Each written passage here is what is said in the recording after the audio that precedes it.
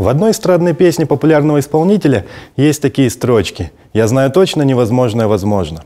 Мне кажется, это утверждение недалеко от истины.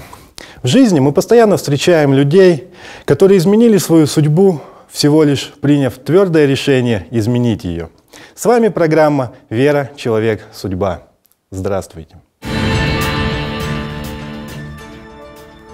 Сегодня с нами в студии Наталья Кожина. Здравствуйте, Наталья. Здравствуйте. Расскажите немного о себе. Откуда вы к нам приехали? И чуть-чуть о вашем детстве. Как прошло ваше становление как человека? В данный момент я проживаю в Рязани, сама я с Украины, с города Николаева. Вот. Ну, моя семья, папа, э, он инженер, мама инженер, проработали в облэнерго практически всю свою жизнь. Вот. Обычная рабочая семья э, с обычным православным укладом, с обычными православными традициями. Э, ну, все мое детство прошло садик, родительский дом. Вот. У меня очень мама рано умерла, когда мне было 16 лет. И, наверное, с этого момента э, как-то моя жизнь в корень изменилась. То есть вас с этого возраста воспитывал только отец? Да, ну, он, в принципе, наверное, перестал заниматься воспитанием. У меня еще очень жесткое воспитание было. Всегда дома, всегда на глазах родителей. Вот, строгий отец, чтобы мы всегда выросли порядочными, хорошими, уважаемыми людьми. Вот. Но когда умерла мама, он очень сильно запил, вот, потому что ну, это очень молодой возраст для мужчины потерять молодую жену, которую любишь. Вот. И я в этот момент э, как-то больше потянула меня на улицу. Поиск себя был на улице. И э, как раз в это время я поступила учиться в ПТУ на бухгалтера. Ну, сами понимаете, контингент ПТУ. И э, очень хорошая почва для, э, в общем, найти себя в таких вещах, как алкоголь, наркотики, курение. То вот. есть в вашей жизни все это было, и алкоголь, и курение, и наркотики. Да, да. И э, практически два года вот у меня прошли в забытие. Я не знаю, как бы не помню предметы, которые я учила, то есть потому что постоянно такое жесткое употребление началось. Оно резкое и жесткое. Вот. Вплоть до того, что даже на лекции приходили таком состоянии. Но были способы как бы скрывать состояние свое. А, началось вот такое вот а, меня... Вы начали уже употреблять наркотики в 16 лет. Да. А какие это были наркотики? Легкие, тяжелые, там, синтетические, растительного происхождения? Ну, знаете, алкоголь, и мы курили, у нас очень на, на юге распространена травка, там марихуана и всякие другие вещи. В основном это курение вот этих вот э, наркотических таких вот. Среди молодежи существует такое понятие, что трава не наркотик. Как вы считаете, это истина или все-таки это наркотик, который затягивает, который способен привести к какому-то краху человеческой жизни? Знаете, затягивает, потому что сейчас уже как анализ, да, тогда я этого не понимала, но э, когда ты употребляешь, ты попадаешь совершенно в другой мир, где ты всемогущий, в мир иллюзии о себе, где ты всемогущий, где ты совершенно другой, не закомплексованный, не забитый, вот, что-то могущий в этой жизни. Вот. На самом деле это иллюзия. И это затягивает, потому что в том состоянии, в трезвом состоянии, а особенно вот у меня было о себе не очень хорошее, сложилось а, как бы не самооценка низкая, и, и о себе какое-то мнение низкое, не знаю, вот так вот сложилось в жизни, что я закомплексованным очень выросла подростком. Вот. И это меня раскрепощало. И это затягивало, потому что вот в этом а, состоянии употребления а, я себя чувствовала уже, когда сказала вот э, ранее. И чем дальше, тем этого больше хочется. И тем больше ты попадаешь в иллюзию, что это, ну, я всегда это могу бросить. И что здесь в этом нет ничего плохого. Вот, и, ну, наоборот, я себя как бы чувствую лучше. Вы сказали, что вы воспитывались в православной семье. То есть у вас был уже высокий изначально с детства моральный, нравственный. Да. Неужели это как-то не препятствовало, не спасало? Неужели не было мысли о том, что наркотики это плохо, алкоголь это плохо? Знаете, а, ну, у меня было такое понимание Бога, что это какой-то старичок на небе, который э, вот э, выискивает на земле плохих людей и наказывает их. Вот, вот почему-то в моей семье сформировалось такое понимание. Э, вот, хотя мои родители, они, ну, у них были какие-то ценности э, в жизни хорошие, э, но то есть на тот момент вы считали, что Бог через наркотики наказывает людей, которые ему не угодны? Нет другую мысль хотела сказать, что несмотря, ну, мое понимание Бога, и я уже на тот момент почему-то чувствовала себя плохой и грешной. И что, в принципе, если я уже такая, то чего мне бояться дальше? Все равно гореть мне в аду. Вот, потому что ну, учение было такое, либо ты в рай попадешь, если ты святой, либо в ад, если ты плохой. У меня уже с детства я была очень, ну, шальным, баловливым ребенком. Часто меня наказывали родители. Поэтому у меня уже с детства было такое понимание о себе. И наркотики это было лишь только, э, как бы сказать, ну, а, а что еще, как бы, я уже грешная. То есть вы считали, что судьбу человек не может изменить. Вот если он плохой, значит, он да. плохой до конца своей жизни. Да, культура, вот, в которой я росла, она сформировала такое вот во мне. Ну, а сейчас как вы думаете, э, способен ли человек что-то изменить в своей жизни? Или действительно старичок на небе, он говорит так, ярлычок, ты плохой, ты хороший, и все. И вот так вот всех разделил. Знаете, человек может сделать выбор. Я сделала выбор в своей жизни. Вот. Я не смогла сама, а, как сейчас, опять же таки, да, я анализирую, изменить свою жизнь. Но я сделала выбор, э, образ жизни, который я вела в течение семи лет такой, да, он а, меня опустошал. И оставаясь одной наедине после всех пьянок, гулянок, э, вот такого образа жизни, тусовок, у меня была пустота, и у меня был страх одиночества. Дальше, что будет? Я думала о будущем. И э, мне хотелось изменить в глубоко внутри, но я не признавалась, потому что я не понимала, как это я могу сделать. Я верила, что я не могу это сделать. Вот. Но мне хотелось. Первое – это желание. И далее я повстречала в жизни человека молодого, с которым мы тоже употребляли, да, а, который такой же образ жизни вел и с какими-то тоже своими болями, переживаниями, заливанием этого, да, вот.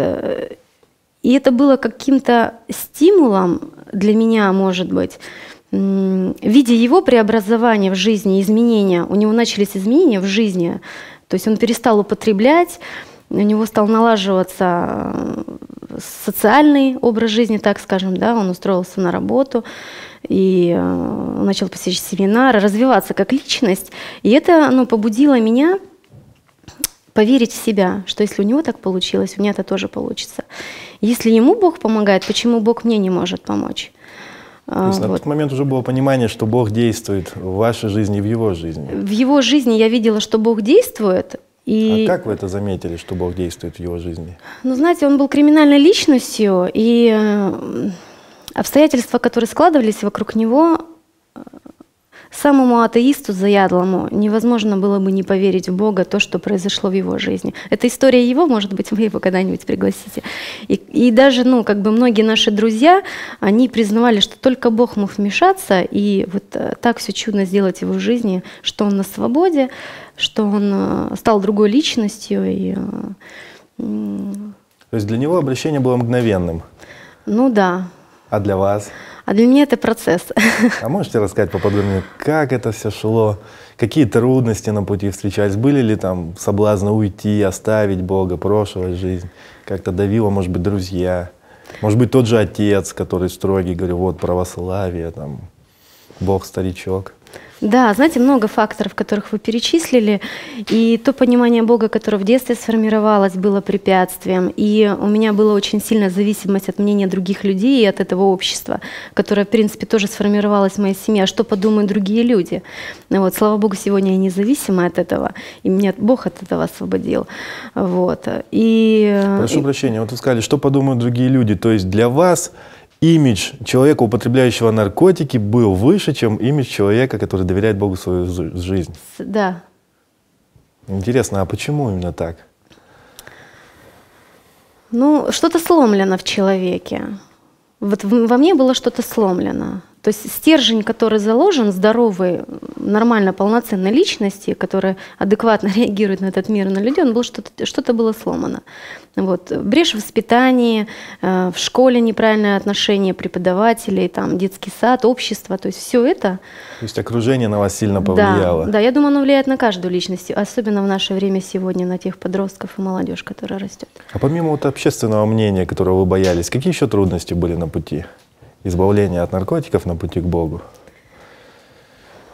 Ну, страх и, наверное, большая привязанность. Все-таки очень долгое время, когда ты находишься в этой иллюзии, в этом состоянии, и как бы в трезвом состоянии это совершенно другое понимание мира, себя.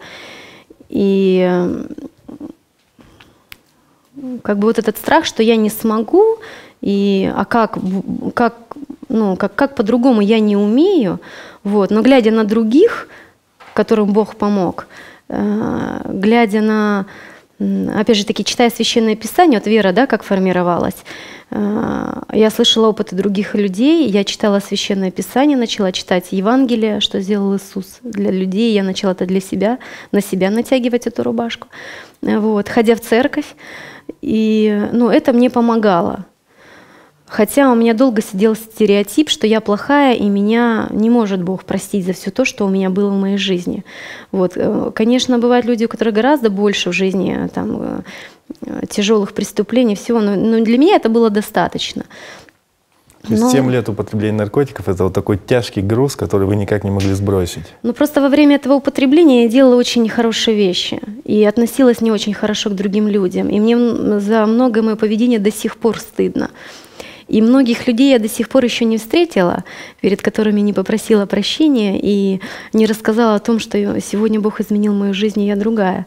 Но многих я встретила, и ну, как бы мне уже перед ними не, не стыдно. То есть Бог. они вас поняли, простили? Да, и они удивлены. И более того, даже вот я недавно приезжала на Украину, э, собралась э, компания друзей, которые вот в технике, в этом в училище, и они говорят, мы пришли посмотреть на тебя, нам сказали, что ты другая. Расскажи, что в твоей жизни произошло. Вот. Пять человек, и ну, я рассказала, что сделал для меня Иисус. И вот как Он как изменил мою жизнь. Отнеслись? Знаете, э, все по-разному. Э, один человек только высказал свое ну, что для него это сказка, но он видит реальность, и он пока не может понять, как это вообще совместить. Потому что многим тяжело понять, что Бог — это личность, и с ней можно иметь отношения сегодня. Вот как я с вами разговариваю, да, я могу разговаривать с невидимым Богом. И что это личность, которая имеет черты характера, такие как нежность, принятие, доброта, сострадание, всепрощение вот, абсолютное принятие. Э, конечно, мне понадобились годы, чтобы в это поверить, что Бог такой, э, о котором написано в Библии, и что вот Он такой в отношении меня, несмотря на то, что я сделала или еще сделаю. Вот. И когда я рассказывала друзьям об этом, им было тяжело поверить, но я их понимаю. Это опыт каждого, которому нужно пережить. Это процесс. Вот вы упомянули, что характер Бога узнавали из Библии. А как впервые к вам попала эта книга? Или она у вас была от родителей православных? Знаете, мне еще дарили друзья, когда я активно, можно так сказать, употребляла. У меня был опыт, когда двое друзей уехали на какой-то лагерь летом и вернулись совершенно другими людьми. Буквально через две недели они не пили, не курили, не ходили с нами на тусовки, и мне было удивительно. Я думала, у них поехала крыша. Поэтому я сегодня понимаю, как думают обо мне многие. Вот. Но прошло время, и я увидела, что у них реально изменила жизнь. Это не только слова, а, что они э, совершенно стали другими людьми, и они совершенно по-другому стали относиться к другим людям. Вот. И на самом деле они стали добрыми, они стали заботливыми, и они стали сеять в этом мире добро. Вот они мне подарили Новый Завет. Это был где-то 98-97 год. А вы сразу его начали читать? Или как Знаете, водится, когда дарят Новый Завет, ставится далеко-далеко на полку? Знаете, я пробовала, потому что у меня очень часто были состояния отчаяния, тоски, одиночества, непонимания, желания уйти из этой жизни. Вот. Я часто открывала его, но я ничего там не понимала. А, мне нужны были люди, которые помогли бы, но на тот момент их не было. Вот. И я просто читала, и знаете, как вот ребенок, верю вот родителям, да, что они меня любят, и все, несмотря на то, как они ко мне относятся. Я верила, что если я читаю, то это мне будет помогать. Ну, как-то какое-то такое волшебство. Вот. Но все равно Бог даже это использовал. И э, потом уже, когда с моим мужем, сейчас уже на тот момент молодым человеком, который начал изучать Священное Писание, это было легче, потому что одному э, понимать тяжело Писание. Есть люди более как бы склонны, глубокие. Я поверхностный человек, и мне нужен был кто-то, кто помог бы мне глубин, углубиться и поверить. То есть нужна все равно поддержка другого человека. В одиночестве сложно постичь Бога, да? Вы так считаете? Да, потому что ну, мы живем в социуме, люди созданы для общения. И это, наверное, очень одна из важных целей в жизни, смыслов — это общение друг с другом, с Творцом. Вот такой немножко практический вопрос. Кто сегодня может начать употреблять наркотики? Есть ли какие-то э, группы риска? Или вот это заболевание действительно, оно присуще всем людям, независимо от того, где они живут, какое общество, положение в обществе занимают? Ну, знаете, и то, и другое, в принципе, потому что есть и группы риска, есть и вот второе, что вы сказали. Но это не, не благополучные семьи, это семьи, где ну, у нас, наверное, 95%, э, где заняты сейчас все зарабатыванием денег, но не вкладыванием в воспитание ну, вот, э, детей. Да, того времени, тех отношений, которые, в чем нуждаются дети. Что в них вложил, то и выросло по сути. И э, я вот так анализирую, что вкладывали в меня мои родители. Я их очень люблю, я их очень ценю, я им очень благодарна. Но они, вот знаете, как все по шаблону действовали. Они ходили на работу, зарабатывали деньги, кормили, одевали меня, все. А что было в отношениях? Меня никогда не хвалили. Мне никогда не говорили «ты сможешь». Мне никогда не давали каких-то высоких целей в жизни, что давай. Да, ну какой-то такой вот примитивный, обычный, обыденный. Вот заработал, потратил, поел, какой-то такой вот, знаете. И сегодня так же. Э, заработали, потратили хорошо, прогуляли эти деньги. Никаких высоких целей, ценностей ну, не вкладывается в детей, в молодежь. И вот они растут с этой пустотой, и они ее заполняют чем могут, чем умеют. И что дает этот мир? А что дает этот мир сегодня? Он дает алкоголь, наркотики, сейчас интернет, клубы. То есть различного танцы. рода зависимости. Да, и это, естественно, это интересно, это ну, эмоции вызывает. Мы люди эмоциональные э, существа. И мы, э, нас это влечет, потому что нет другой альтернативы.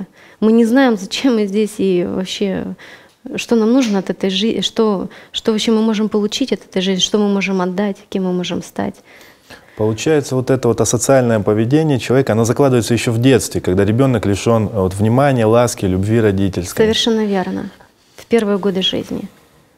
Как-то с этим можно справляться или все-таки ну, знаете, Бог исцеляет в процессе, просто это уже потом с последствиями очень трудно. Если бы этого не было, то мы бы уже давно все как бы, ну, спились, скурились и погибли бы.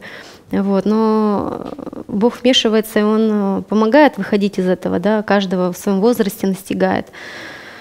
А, ну, только... И давно вы уже без наркотиков живете? Ну да, в 2001 году, наверное, это было последнее мое употребление. Вот. вот с 2001 года я никаких наркотических и э, средств, которых изменяет мое сознание, не употребляю. Ни чая, ни кофе. вот. А расскажите, чем вы занимаетесь сейчас? Где работаете? Чем занимаетесь? Что делаете? Может быть, какое-то служение у вас есть?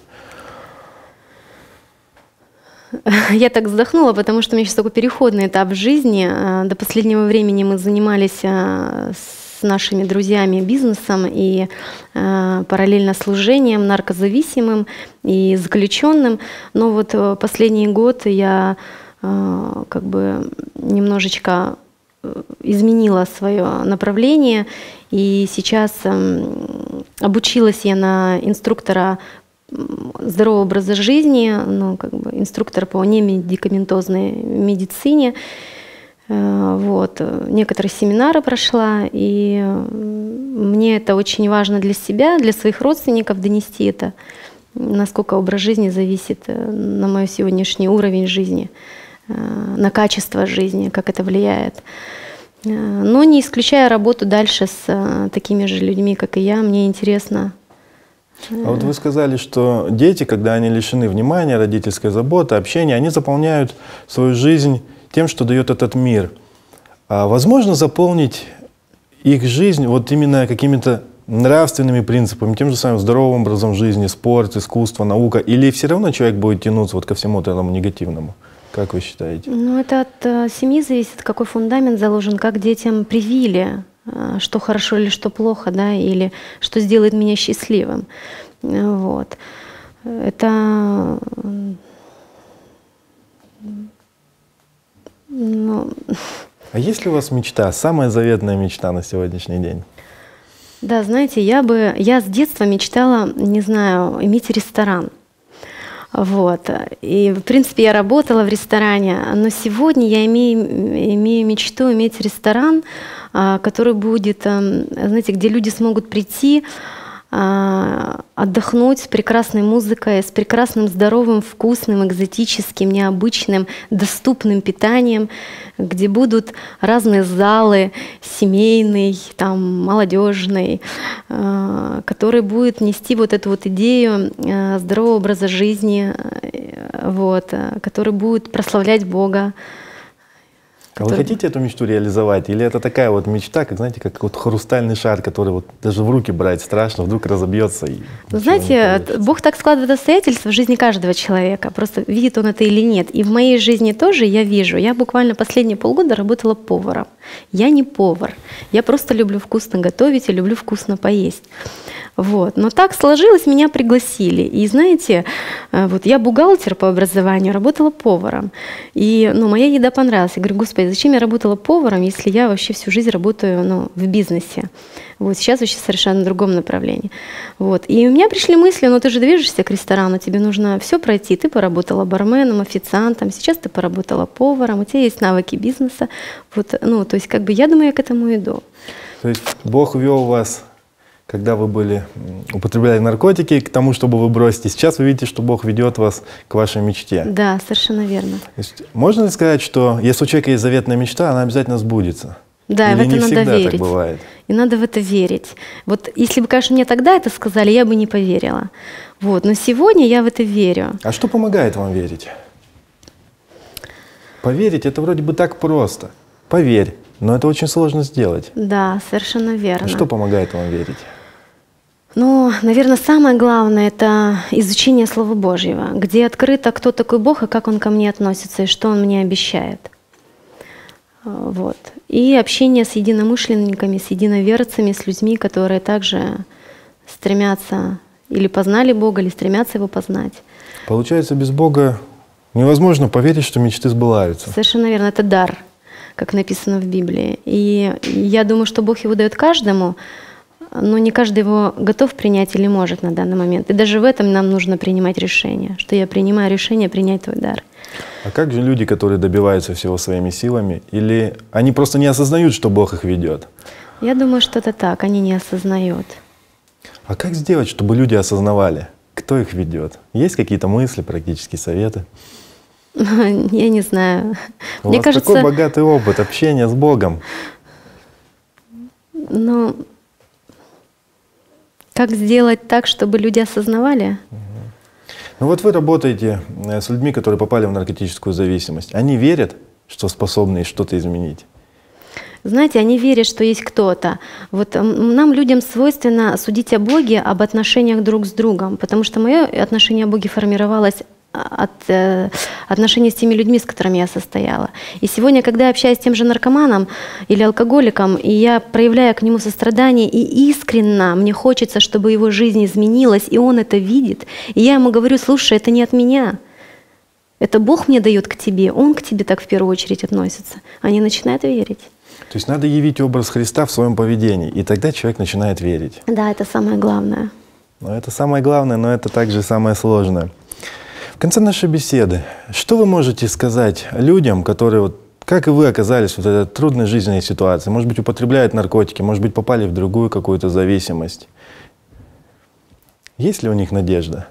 Да, надежда есть всегда, и я вам желаю э, поверить, принять это решение, не побояться, впустить э, вот э, Бога в свою жизнь, поверить, что Он вас любит, поверить, что Он вас не просто так создал, есть большой замысел, вот как для меня, для каждого человека, так и для вас. И Он совершит ту перемену. Вам нужно лишь только следовать. Наталья, благодарю, что уделили нам время, пришли в нашу студию. Теперь мы точно видим, что невозможное возможно. Надо только верить. С вами была программа «Вера, человек, судьба». До скорых встреч!